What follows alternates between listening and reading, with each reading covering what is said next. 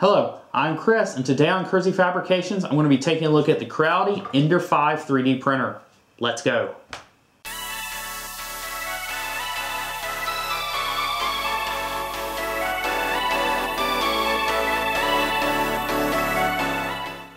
In case you missed it a couple of weeks ago, I did a live stream in which I unboxed, built, and ran my first test print on a Creality Ender 5 3D printer.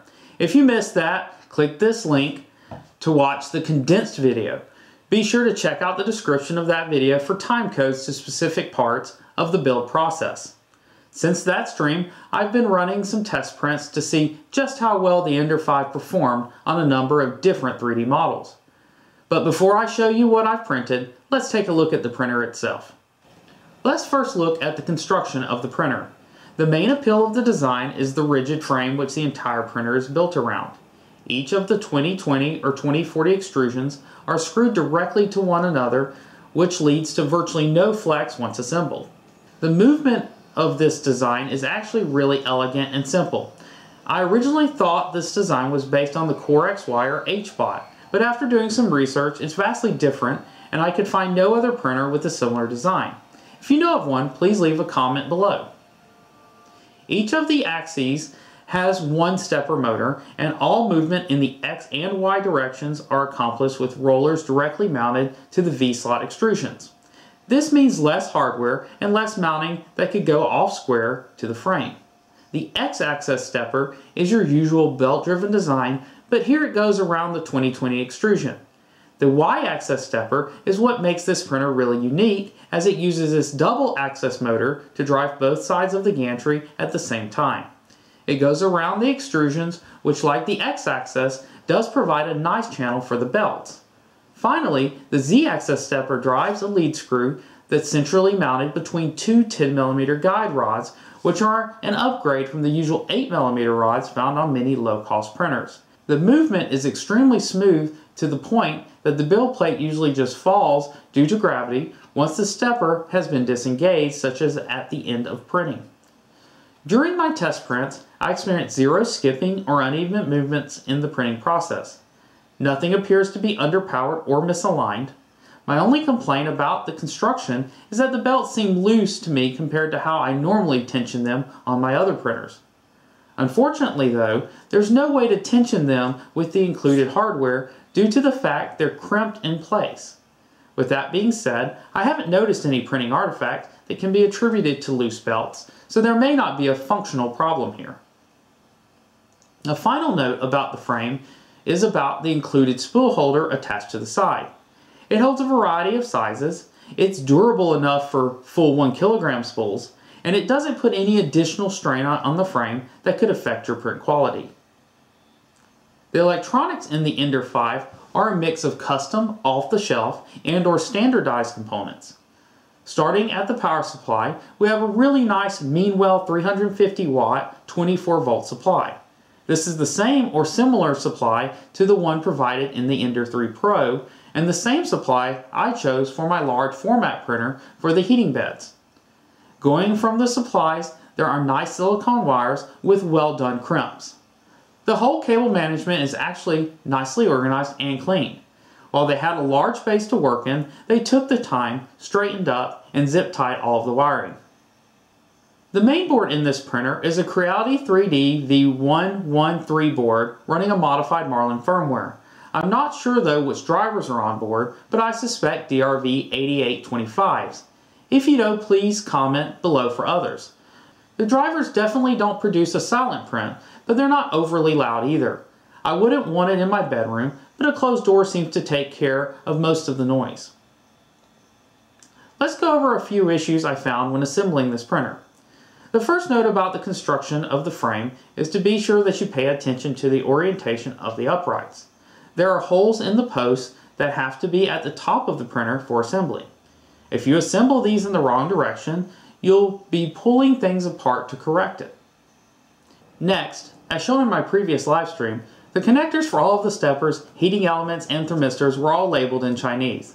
This became a fun game for my daughter and I as we pulled out Google Translate to figure out which connector went to which element. And while this can be entertaining, almost all of the connectors map one to one to the devices they go to. What I mean by this is that all of the wires except two should have unique connectors, colors, or wire gauge that make figuring this out pretty easy. The only exception to this are the thermistors for the hot end and heat bed. These connectors are identical. So if you're faced with figuring these out, feel free to pull out your cell phone like I did, or simply plug them in one at a time when you power on the machine to see if they're in the right location. The last thing worth mentioning about the construction is that for the longest time I thought I had a warped print bed, as when I leveled the four corners, the middle of the bed seemed too low still. After thinking this through and doing some testing, I came to the realization that the actual print surface is larger than the specified 220 by 220 millimeters. It's actually 235 by 235. When I homed the printer or the print bed went to what I thought was the center, it was actually off by several millimeters. To fix this, I homed the printer, sent G-code to send the printer to what I thought was the center, measured to each edge, subtracted the difference and divided by 2. Then I moved the X end stop by that amount. This took care of my bed leveling issue. With all consumer printers, safety should be a top concern. This is because with heated beds and hot ends, fires could be a real issue if temperatures got out of control.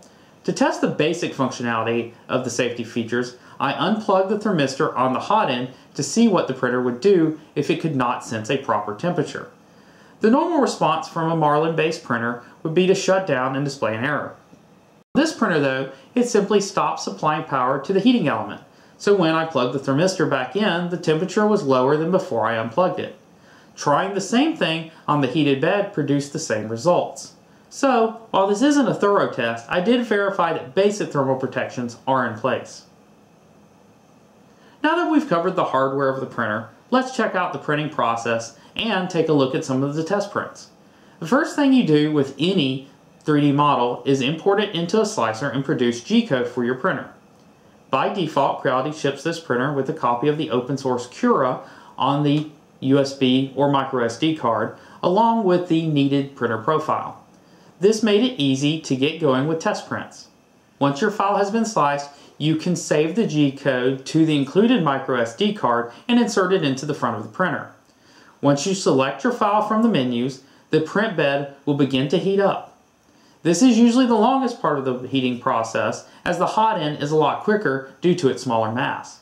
With a 24 volt power supply, I'd expect a quick heating time and I wasn't disappointed. Starting at 21 degrees Celsius ambient room temperature, the heating bed was able to get to 60 degrees Celsius in about 2 minutes and 15 seconds. To get up to 70 degrees Celsius, it took about 45 seconds more at 3 minutes. It's a relatively small print surface, so this is about what was anticipated. As seen in my live stream video, the first file I printed came pre-sliced on the microSD card and it was simply called dog.gcode. This file took almost 11 and a half hours to print, but really produced a great sample.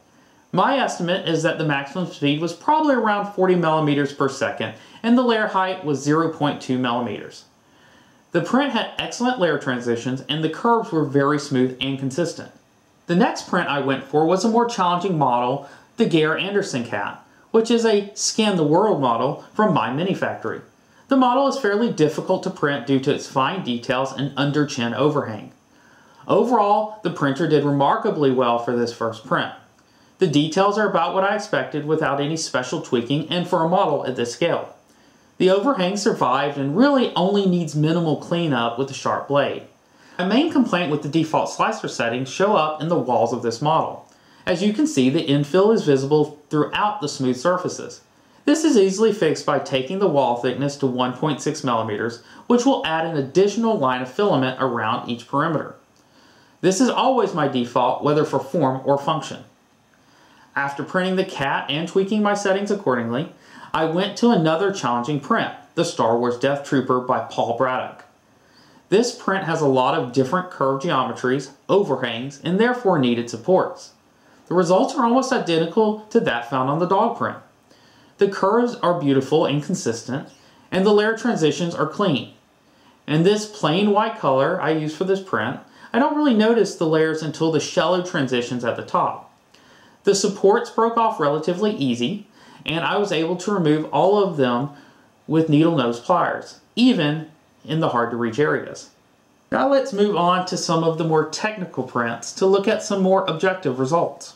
One of my biggest complaints on low cost printers is ghosting due to sharp angle transitions in the print. This is where we really test the construction of the printer as well as the settings for jerk and acceleration in the slicer. So for this test, all of those values were left as they came in the profile from Creality. This first small ghosting test can be found on Thingiverse. It's a piece that has both an open source and open builds logo on both sides, but one is embossed while the other is debossed. The first of these prints was performed with the max speed set at 50 millimeters per second. There is no visible ghosting on any edge of the piece. I printed a second one of these at 100 millimeters per second and again saw no visible artifacts. Due to the small size of the piece, I didn't expect any differences, but I wanted to test it nonetheless.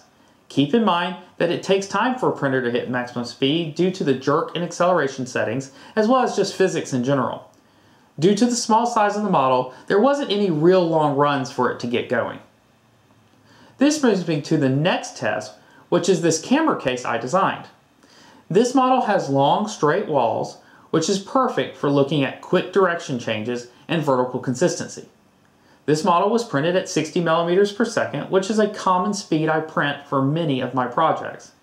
Here we can see some ghosting on the long run before a hard stop. The corners though look quite good. The layer consistency is also quite good with an extremely smooth finish. Next I printed a model specifically designed to look at printer dimensional accuracy. The CaliCat is my go-to model for calibrating my 3D printer. Not only does it have specific dimensions listed with the model, it's also a great little gift for children of all ages. My daughter really loves these. So right out of the box, the dimensional accuracy of the printer is very good.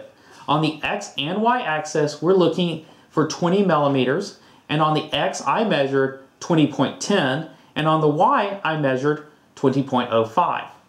On the z-axis, I like to measure from the bottom of the model to the top of the cat's head, which should be 30 millimeters, and I measured 30.02. Keep in mind that using the built-in menus on the printer, these settings can be dialed in even closer by changing your steps per millimeter. The final print I performed was Maker's Muse tolerance gauge, which can be used to find out the printer's tolerance when printing two walls close together. This is extremely important when designing mechanical components because this number is used to sort out proper printing dimensions, which are almost never the same as the ideal model. A good quality desktop printer with a 0.4mm nozzle can usually achieve about a 0.2mm tolerance, which is exactly what I got from the Ender 5. It required almost no force to free up the 0.2 knob, while the 0.15 knob couldn't be broken even with tools. So now I'm reaching the end of my review and I'd like to cover a few odds and ends that I haven't mentioned elsewhere. First, I did take a look at how the printer handled different materials such as carbon fiber and TPU. For carbon fiber, I found that the print quality was very good and it had no extrusion problems with the stock components. Just keep in mind that this sort of material will wear brass nozzles faster than standard PLA. For TPU, I first tested a Shore 85 TPU, which started to print fine, but could not make it through a test print without eventually finding its way out of the extruder. Testing a firmer TPU though, I had no problems completing a print at 40 millimeters per second. The quality was what I expected from the PLA prints, and even retractions work better than on other printers I've tested. Next, let's talk about the extruder. Functionally, this is a good extruder. I never saw any jerking or stuttering while printing at normal print speeds, and the path for filament is tight enough for firmer flexible filament. I don't love this extruder though for two reasons. One, the components are all plastic and when you go to insert filament, you can feel the handle give a bit. I worry about this holding up over time. Two, it's kind of a pain to insert filament into the tube. I found a trick where if you cut the filament at a sharp angle, it will go in relatively easy, but sometimes this takes multiple cuts and just the right alignment. With both of those in mind, I went looking for a replacement for this extruder and found that Creality actually has an aluminum upgrade for these components right on their online store at creality3donline.com. At the time of this review, they were running a special for $7.99, so I ordered one and will report back on how well it works. My final concerns are about the removable bed. While I love the idea and it does make prints easy to remove, I found that this surface does not always cooperate. The first issue I found is that if the surface gets dirty and or oily, the only real way to clean it is with hot water and dish detergent. Alcohol did not do the job for me on this surface. Next, I find that I have to squish the filament into the plate more than I usually do for glass. I think these are problems I can live with now that I know about them, but I did have to have some Twitter and Facebook help to figure out the proper cleaning. So to wrap up, what I hope was a thorough but not too long-winded review, what are my final impressions of this printer and am I happy with the money that I spent on it? Ultimately, this printer does achieve what I purchased it for, which was to test out a cube design and to look at the print quality in such a design. It's not disappointing the least in that department. I believe the print quality is superior to both of the inexpensive i3 designs I have in my collection. One being a highly upgraded ANET A8 and the other a custom built AP8 printer. The issues I have with the printer, such as the extruder and the removable bed, I'm able to work around are actually really easy to upgrade or replace if I wanted to. Many people are going to wonder if this printer is worth the extra cost over an Ender 3 or an Ender 3 Pro. Unfortunately, I can't do a direct comparison since I don't own one of these other printers. But I do own printers that are similarly designed.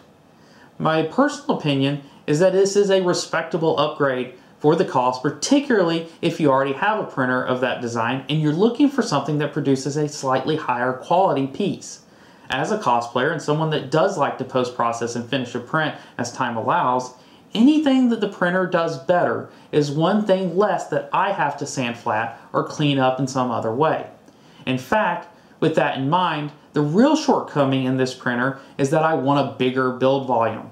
Keep in mind that this is already bigger than the Ender 3 in the Z-axis at 300 millimeters as opposed to 250 millimeters. But I want one of these at 300 by 300 or even 400 by 400 so I can print high quality helmets or other props. Hopefully, Creality will see this review and start working on it. Well, that's it for me on this one. I want to thank all of you that watched until the end of this video.